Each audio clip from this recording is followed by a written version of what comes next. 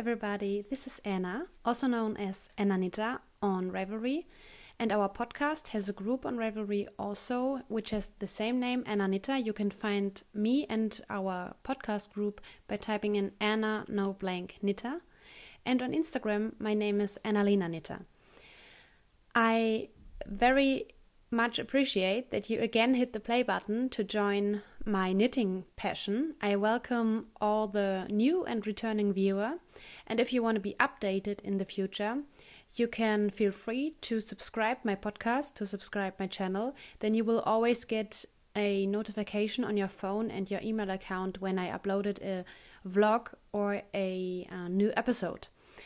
I always like to be updated. Um, yesterday or the day before yesterday, um, I, beca- I received, I think, two, yes, two not- notifications. Uh, Sarah from Love Soccer podcast and Nina from the The Show Knit podcast had uploaded their new episode, and I was, yay! I was so happy, and I do often check my YouTube but and my um, email account, but I like the sound of the notification and knowing now is the time to knit with, for example, with Nina. Like yesterday. Yesterday I knit together with Nina.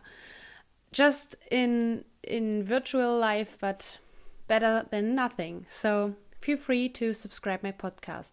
If you like this episode, I would um, appreciate you. Uh, I would appreciate it if you um, give me a, a like, a thumb up, to so that I know that you liked it and are there some dislikes or many dislikes, I know, okay, I have to change something because I do this show for you. Under my table, under my desk, lies a sleeping dog, and I hope we will have enough sleeping time for him because that will um, make it possible for me to film this episode. Otherwise, I have to pause and go uh, for a walk with him. Okay, um, we have a make along going, which has the name Blanket Along, and there was some confusion in after my last episode because I said I would only or always draw winners from the Instagram feed. On Instagram, we have the hashtag Anna Knitter Blanket Along, and I would so love to see all your blanket projects and your um, constant uh, success on your blanket. If you use the hashtag, I will be in a very easy way be able to see what you're doing, what you're all doing. And I will also draw winners from the Instagram feed. And I will draw from our um, Ravelry group thread. We have a thread uh, and not only blanket along, it's only called blanket along. And you can post your progress, your yarn choices, or your finished objects and your, all your chatter there. And I will draw winner also from this thread. I I think it depends on how many prizes I get as donations. Um, but by now, I think I will draw winners fourth four times uh, the of the year because we will have the make along through the whole year of 2017. We started uh, on New Year's Eve, and it will go to first of no, it will go to the New Year's Eve this year.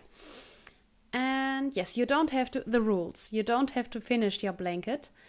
I just want you to join us, knitting along with us, chat with us, and many pictures would be nice. I always love to browse through our blanket along thread and seeing all your pretty color choices and uh, patterns, blanket patterns. Okay, I think, let me check my notes. That was everything for the introduction. Oh no, I want to show you the prizes. I think I will take photos today so that I won't. Uh, I don't have to show every episode. Hey, these are the prizes. I will take photos and um, put it in the in the first posting of the thread on Ravelry, and then you can always look up the prizes.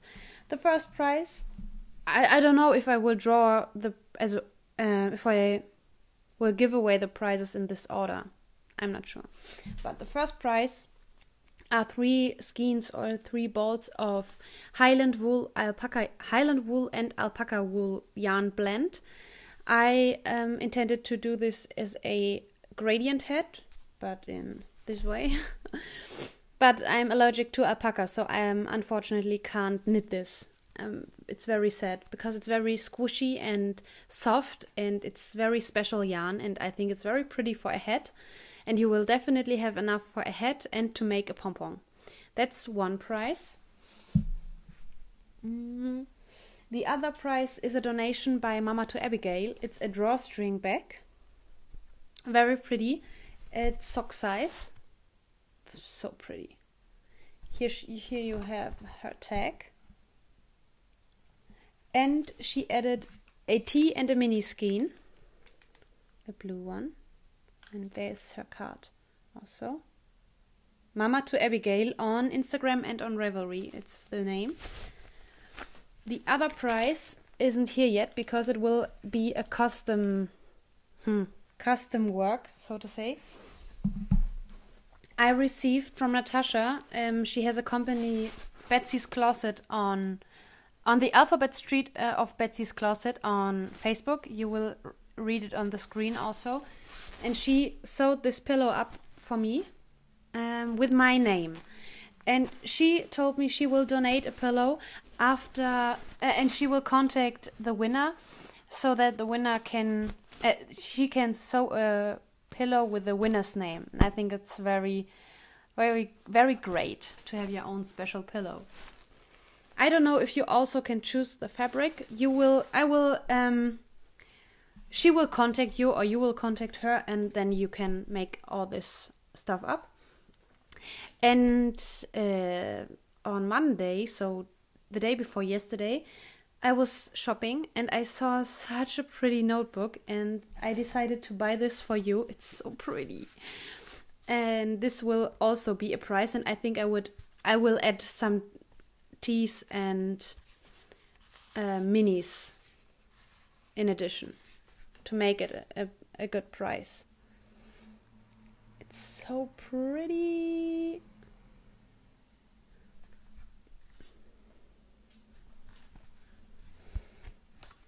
Mm. Let me see if I. Yeah, it ha it's uh, blank, and it is, has this cute wrap. You you will put it away. You don't have to leave it on on it, and it has this um, stamping on it, or I don't know. It's so pretty. I love notebooks and golden details. I so love notebooks. Um, these are the prizes. In the last episode from the This Old Knit podcast, Nina told us that she wanted to donate a bag. And she um, said she still has to contact me. She didn't yet. Maybe I have to contact her. Hey Nina, if you're watching, you want to donate a bag? It's so great. I'm so, so, so grateful. That's great. A bag from Nina to give away. That's awesome. Thank you so much. Thank you thank you. Thank you very much. thank you very much. Um, let me take a sip of my tea. Uh, okay, that was everything for introduction stuff. Okay, I have a finished object and I'm wearing it right now. And now I will insert a video and I'm commenting on the video so that you can see it in a much better way. That's the Jujuy shawl by Joji Locatelli. I try to show you how wide, how long it is. It's my whole arm span. It has an asymmetrical shape, but it's not typical for me, but I like it. The the the look of it. Three colors. And I want to show you the other way to, to wrap it, you can just um, throw it over your shoulders, or mostly in my everyday life, I wear the shawls like you all wear your triangular um, shawls, but with the crescent shape, I think it looks ma- it looks much tidier this way. I have to find my ends. It's not that easy in front of a camera. So now we have a close up we start with garter, garter stitch, then lace, striping, lace again, and then we have garter with one lace section, just one row of lace, and then the picot bind off. I love the play of the colors together. Okay, that was my Jujuy shawl, Jujuy shawl by Joji Locatelli. I so much enjoy this shawl. I um, have the three colors of cashmere shawl already knit up and now the Jujuy shawl. And now we come to WIPs because I immediately, as with this shawl, I immediately started an another pattern by Joji Locatelli after finishing this. And the pattern is called um, Pure Joy. The Pure Joy shawl is also um, a short row shawl, an asymmetrical shawl, made of two skeins of yarn, so about 800 meter yardage. I'm knitting this out of Hedgehog Fibers Film Noir and a 100% cashmere yarn um, from Cardiff it's called Cardiff Cashmere Classic. This colorway is discontinued. I bought this yarn, two balls of um, 25 gram. I bought last year because I wanted to knit mittens out of this. But then I thought it would be not it wouldn't be sturdy enough for mittens, so I didn't knit them. And now I think they go so well together because you have speckles of brown in the film noir and it complements it very much. But now I have a problem because I went to my local yarn shop. Nah, not really local, it's in Vienna, but the yarn shop I bought this once one year ago. And I asked her if she can give me two other balls of this yarn, and she said, Oh no, they don't have this colorway anymore. And I said, No, I started a project now and I need two more balls. So, two 25 gram balls. So, I uh, looked up in the internet and I found a seller. I had to order it and I will ship it to Germany, and my mom will ship it to me because they wanted. Uh, they wanted to have 15 euro for shipping and to germany they only it only will cost 5 euro I don't know what the problem is with Austria, but shipping to Austria is so expensive. Not, not really too ex- to Austria is very expensive, but sometimes I don't know. If I ship my mom a parcel, it's three times more expensive than sh- uh, if she ships something to me. I don't know what is wrong with the Austrian post. It's it's a pity. So now you will see the project as uh, how far I am. Mm-hmm. Okay. You start from the bottom and then you always increase. You always start with her crescent shaped shawls with a garter tab and you increase uh, sometimes every row, sometimes every other row. Yeah. And you create wedges. Hmm. I, I always have a hard time showing this because I don't want to click with the needles. Ah, there you can see it. You always create wedges with short rows and there will be nine, let me see, nine or six? Six wedges and after knitting the six uh, wedges you add the border which is only in uh, garter stitch in the brown color. I do enjoy the hedgehog fibers. It's my first time knitting with with hedgehog fibers, um, if we don't count in the minis, and it's unbelievable soft, and I think it's so interesting looking. It's not. I'm not used to this look because you see, I mostly use solid colors or semi-solid colors, and classy classy ones.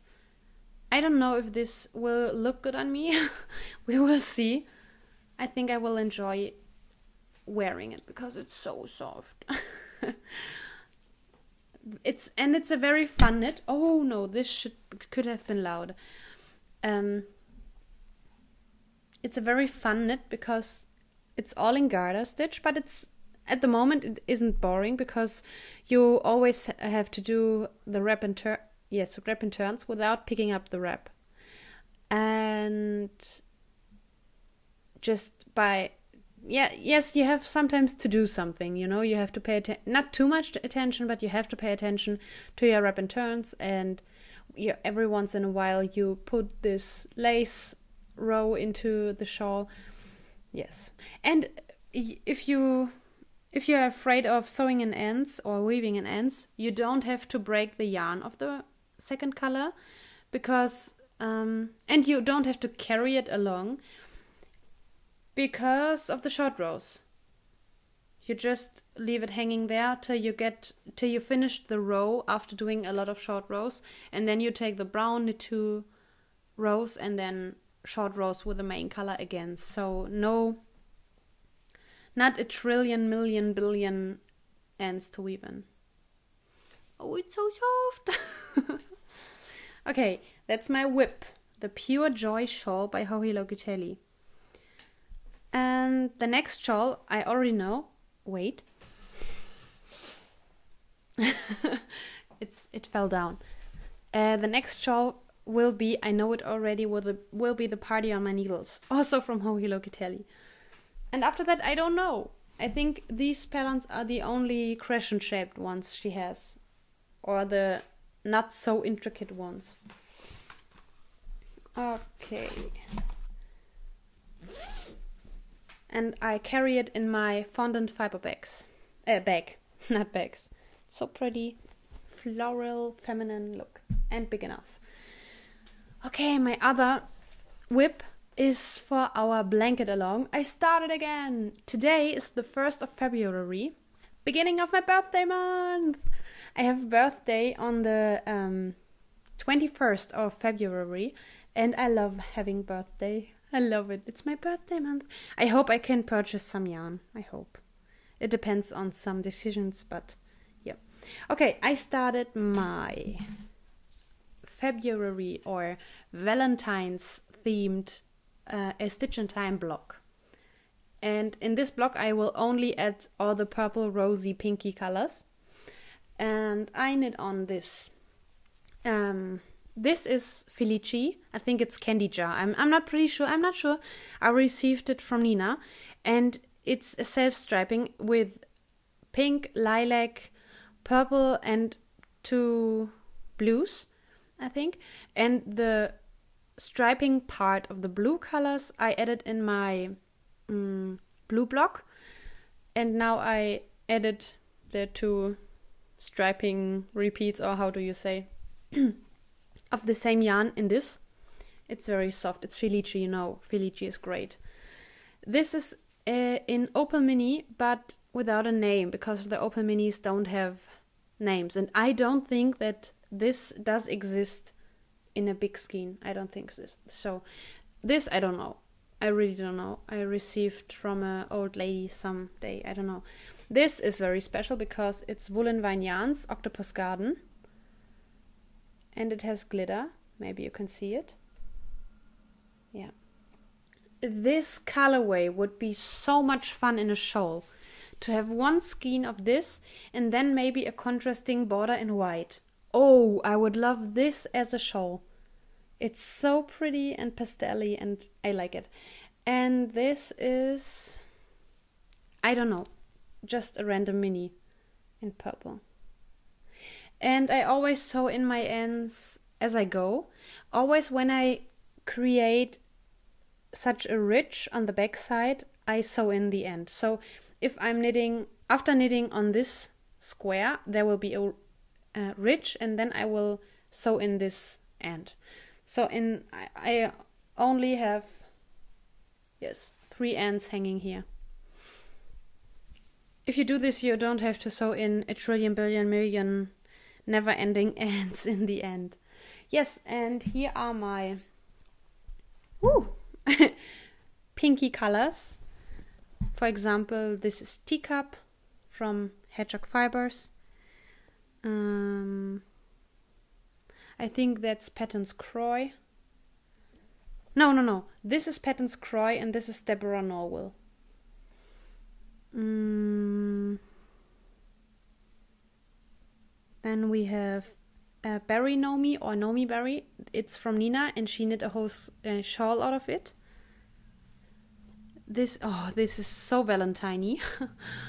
it's from fondant fibers i always say fibers no it's fondant fiber that's hush from um, hedgehog fiber no this is this this is called hedgehog fibers but fondant fiber okay also fondant fiber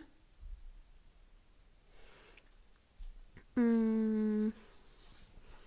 This is Madelinetosh, I think. It's so pretty. This would also make a very pretty shawl. It's so soft. It has halo. I don't know if you can see the halo. And many opal minis. and this is in my bag I made by myself with the Zombie Kisses keyring from Gnome Acres. I received in a swap. So now they have to go back in the bag. yes, I I do enjoy knitting on the blanket, but yes, I still have to force myself a tiny little bit because I want to make progress on my shawl. I don't know what it is at the moment, but I enjoy. I enjoy to being a product knitter at the moment. So you so you uh, get a finished object much quicker. okay, another sip. I have a rough throat. I'm not ill. I don't know what it is. um, yeah. And the other thing I want to share with you is a purchase, but nothing to do with yarn. It's about tea. I purchased some tea. Um, over a year ago, I ordered at Mo- at a homespun house from Molly, and she added, I think it was, I think it was a bag of this tea. And I thought, oh, how great! It looks so American, but it's teekanne, which means uh, teapot. so I thought, hey, that must be German. I must be able to get it here but I ordered it on Amazon because here in my local grocery sh um, shops or stores, you only get this one. So these are four. I I bought four. Um, I don't know packages of tea, and they all have a candy or a treat theme. This is blueberry muffins. Can you believe I never ate blueberry muffins? before. I think it's a typical American uh, sweet or a dish, uh, you know, dessert. Dessert. And so typical, I think, for you. And that really tastes like cookies or like yes, like cake. It really tastes like cake. And now I'm drinking lemon cake, and this is very delicious because it's more fresh. Then I bought strawberry cheesecake. It all came in one set, the four. And caramel apple pie. And I think I had this before too. So great. Isn't this cup very pretty? Very, very pretty.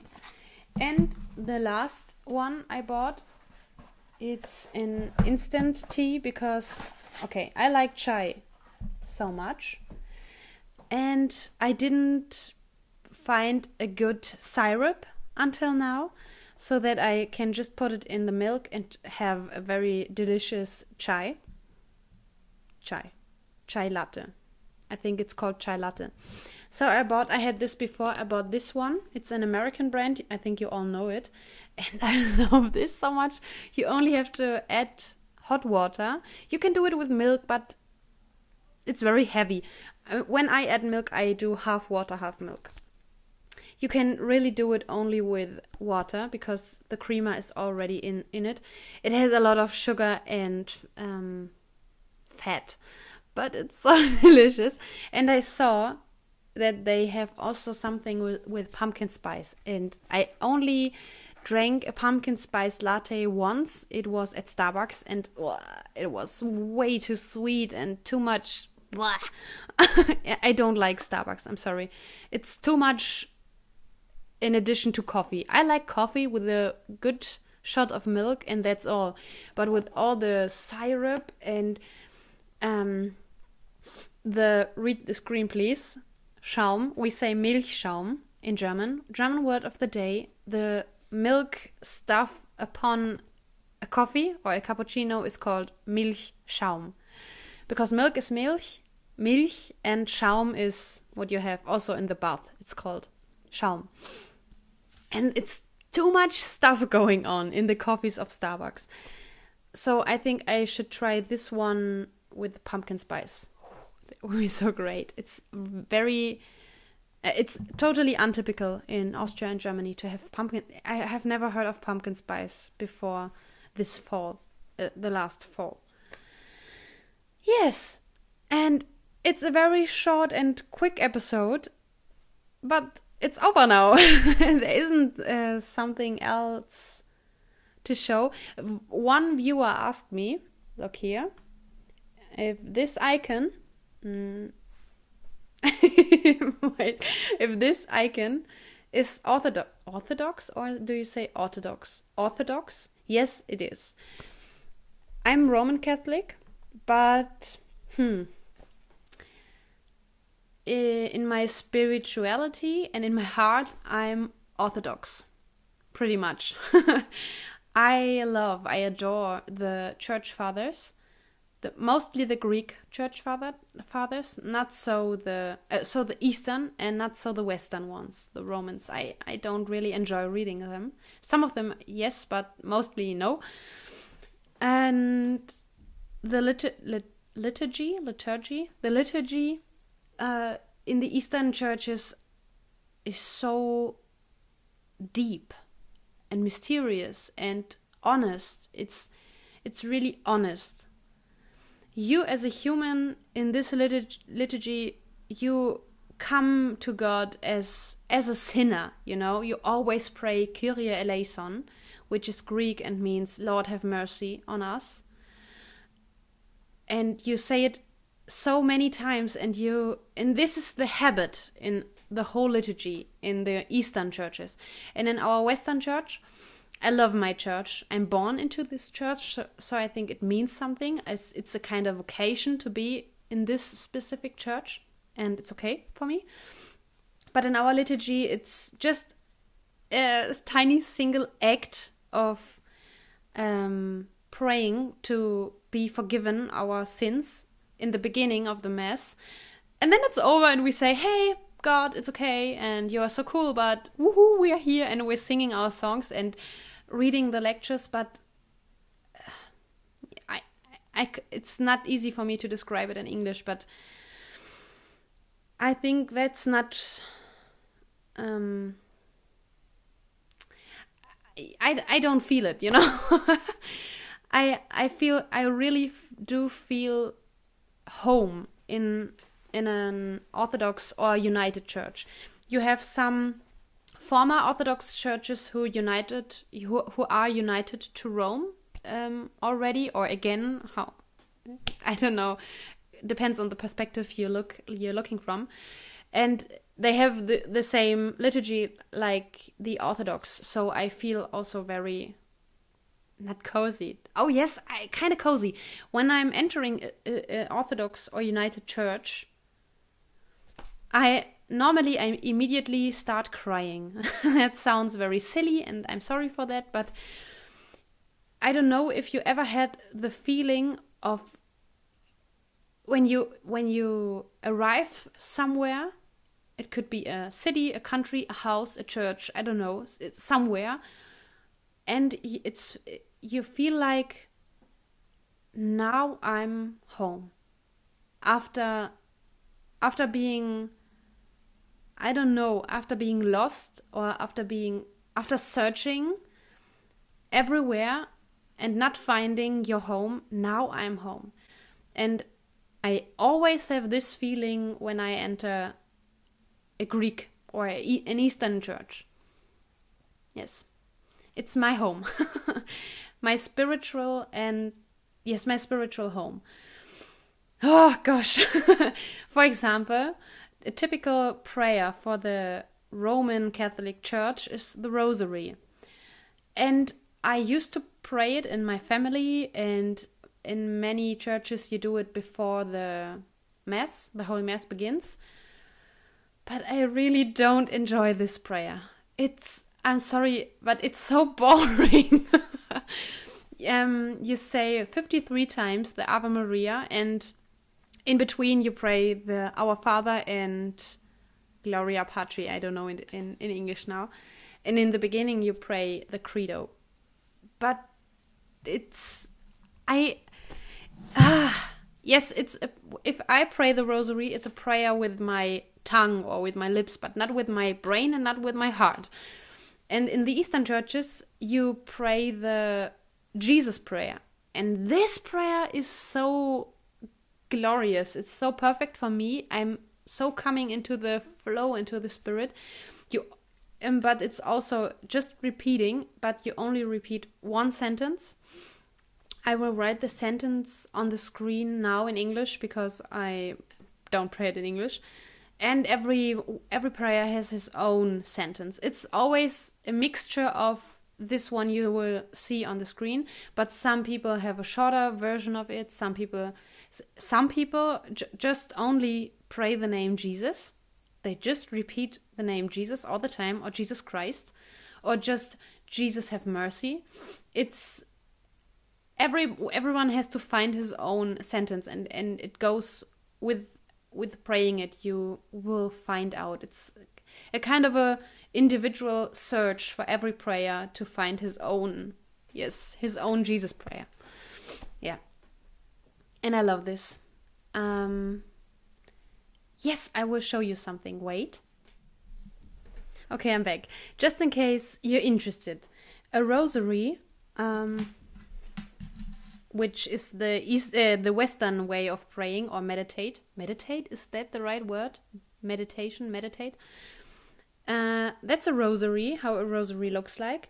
You always in the beginning we skip the beginning. You always have ten pearls, and then one single one 10 pearls and that one single one. You have so five times the 10 repeats and the in between, four in between prayers. And on the section with the 10 pearls, you always do the Ave Maria.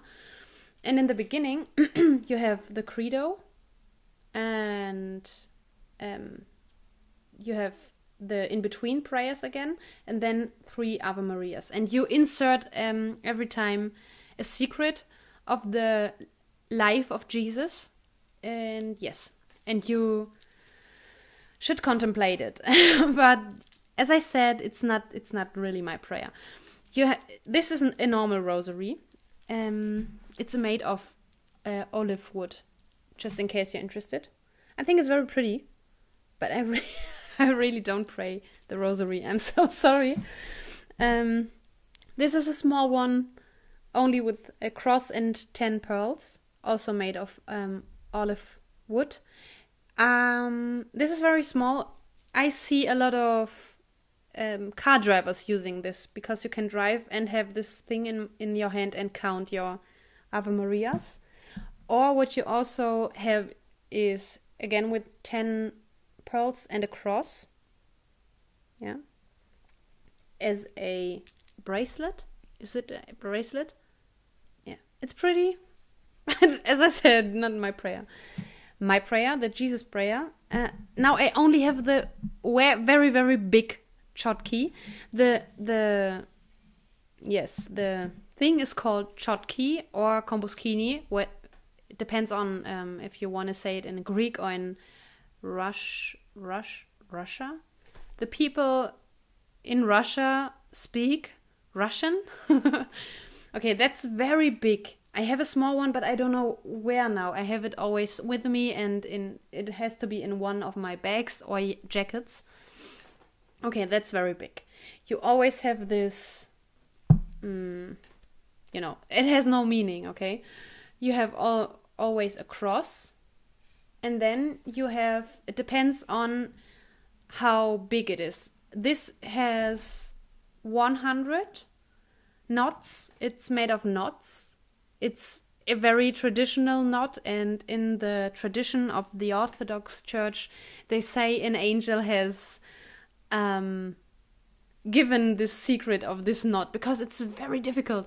I saw a YouTube video um, in in in in this YouTube video. Someone explained how you do it this, but not with repeating step by every single step a few times. Just one knot, and he he just made one knot in this video slowly and explaining it. And this video took 15 minutes for one knot. Okay. And sometimes you have 33 knots on a small one like this. 33 for every uh, year of living of Jesus Christ, of the life of Jesus Christ, because he became 33 in the tradition we say, or this one, and it's for the arm. And you don't in the tradition, in the Orthodox tradition, you don't buy these. You have to find these or to um, get gifted one. And it's funny because all the three ones, no, these two I was I, I received as a gift, and this one I found on the street. On the street here in in Austria, you won't find many people in Austria praying this prayer because the most people in Austria are Catholic. So it's it's you can much easily much more easy find a rosary somewhere lying on the street because everyone has one. The most one the most people have um, hangings a rosary in the car. But to find a chotki, a komboskini, it's it's a kind of a miracle, you know. so this one I found, this one, um, and they are all handmade. I think it's needless to say. Uh, this one someone gifted to me after saying him that I love his church, and then he said, "So you have to own this." and this one my best friend ordered um, in Greek for me, uh, purchased it online. It's made in Athos. It's a mountain where many monasteries, Orthodox monasteries, are, and they the monks did it there. Okay, just in case you're interested. okay, so that's everything for now. Um, maybe I will squeeze in a vlog. I didn't do a vlog in the last weeks because nothing really interesting happened. um, yes, stay tuned and I will see you all next week. Have a nice knitting week and bye bye.